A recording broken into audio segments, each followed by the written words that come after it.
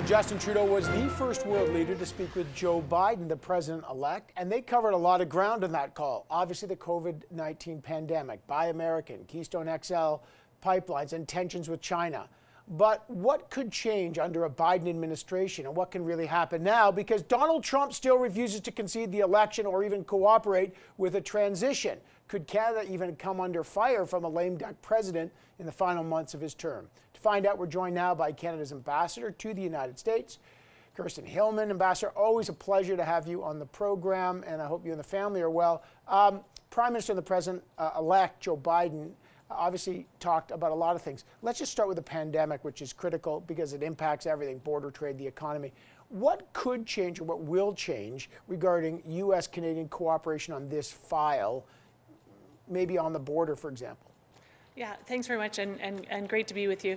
Um, well, I guess I'd start by saying that for, for Canada, the, our approach to the pandemic has been since day one guided by science and the advice of our experts. And that has to, you know, that, that relates to what we're doing domestically and the choices that we're making domestically. And it absolutely relates to how we're dealing with our partner here in the United States. So managing the border, for example, um, managing our critical supply chains for PPEs and other, other critical um, materials. Um, nothing is going to change on Canada's side. We are going to continue to approach uh, the fight against COVID based on science, based on experts, and based on the facts on the ground as the, as the pandemic evolves. Um, and, you know, I have every expectation that a Biden administration will do the same. But before, you know, before we get there, I think it's important to point out that our cooperation with this administration, with the Trump administration, in relation to COVID has been very good. We have had very open and collaborative right. uh, dialogue on the border. We have remained highly coordinated on the border, and we have had also really good cooperation on supply chains for PPEs. Yeah. So I have every expectation that that will continue. Yeah, the cooperation is, has, has been there with the Trump administration, but you know, as you know, it's a five-alarm COVID fire down there right now, and it, it's very hard to get under control. Um, let me just move to another key issue, uh, Keystone XL pipeline. It is very widely known Joe Biden wants to kill this. He said it a lot. Powerful interests who put him uh, in the president elect's seat have said the same thing. The prime minister and the Canadian government support it. In that call, was there any signal that Joe Biden was open to a negotiation on the Keystone XL? It's crossed the border already, or does he still say, "Sorry, we're gonna we're gonna rescind that presidential permit"? Yeah. So so as you say, Keystone XL is, uh, is, is supported by the government. We've been making the case for it here in, in DC for a very long time. We continue to do that, including with uh, the Biden administration. I think that uh, we will have to see how those conversations unfold as he moves through transition and takes office. But we have a good story to tell on Keystone XL from an environmental perspective, from an engagement with communities perspective, and of course from a jobs perspective, which is essential right now. And just to, just to say too that the conversation around energy is broader uh, than Keystone. You know, we have uh, enormous potential for partnership in hydro, in nuclear, in solar, and so we have a broad conversation that we're going to be able to to pursue with the Biden administration. Yeah, I, am sure you do, uh, but as you know, it would be very tough to budge him off Keystone. But but I know these are early days. The other big issue is China. Um, the two Michaels, Spavor mm-hmm. and Kovrig, as you well know, have been in that Chinese prison for now past 700 days. Did the Joe Biden tell Justin Trudeau, yeah. Uh, the prime minister, that he would help on that?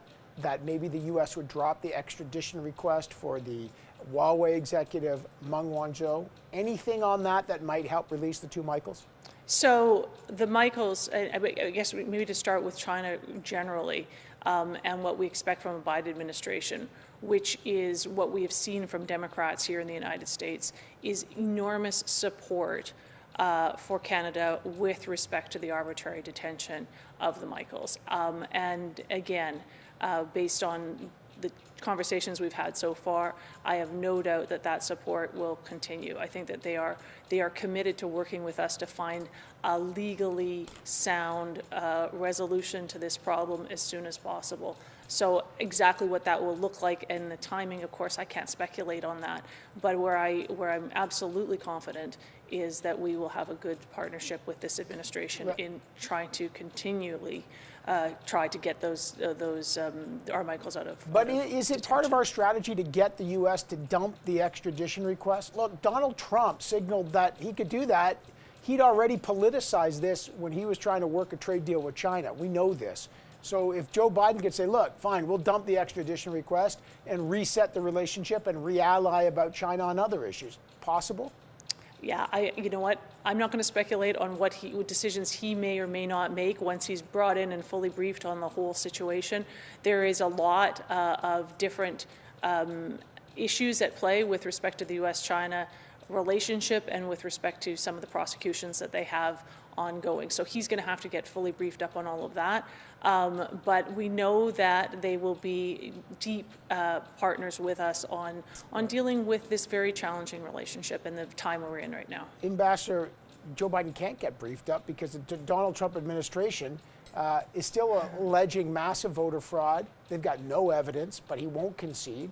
They're not allowing Joe Biden access to some of the key transition documents in order to brief him. And there's concerns that Donald Trump, in these last lame duck period, the last couple months, may lash out at countries who have already congratulated Joe Biden, like Canada. Are you concerned about that? I'm not concerned about that. Um, it's widely understood here, you know, that President-elect Biden will be the next president of the United States. There are processes that are underway, litigation, recounts, as all Canadians know, and people are watching carefully. Um, but those processes aren't uncommon. Um, they're getting a lot of attention right now, obviously in this particular moment in time. But there was recounts. Uh, there were recounts in litigation in 2016, in 2018, um, and so from a legal perspective and from a process perspective, the U.S. system is, is very capable of managing the time that we're in. Uh, and, and we're going to we're to you know watch and what we know for sure is that on January 20th a president will be inaugurated here in the United States. Yeah, okay, I know that. Um, but let's this is not 2016. This is not 2000. This is a president that is totally different. You know that. The allegations that he has made that the entire process was fraudulent is incredibly worrisome. Um, from a Canadian point of view, are you taking different action to because of the chaos surrounding this transition? Are there, is there a different process? Uh, has it impeded your ability to work with the Biden team? Yeah, so so I guess what I'm trying to say is that the process is unfolding. Um, it is unfolding in terms of a Biden transition team developing policy, uh, rolling out that policy. Um, we had initial platforms that were made public during the election campaign. Those are being elaborated on uh, through the transition time. Teams are being put into place to handle and manage that transition.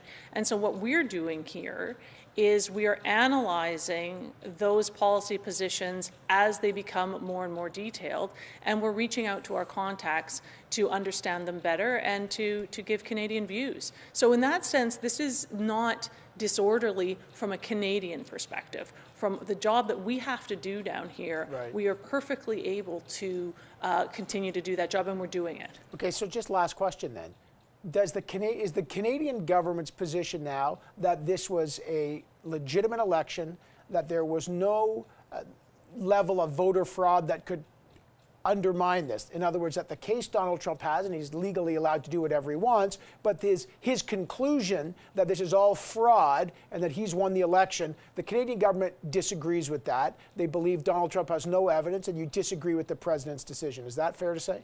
Well, what I can say is that from what we see, and we don't obviously have full insight into all of the, the cases that President Trump is bringing, but from what we see, uh, and from what states' attorneys general and other relevant officials are saying, is that there is no evidence of widespread voter fraud.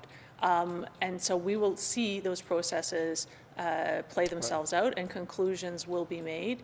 Um, but we have congratulated President-elect Joe Biden, and it's our understanding that it's widely understood that he will be the next president of the United States. All right, Ambassador Hillman, I appreciate your time today. I got to leave it there. Thank you so much. Thanks so much.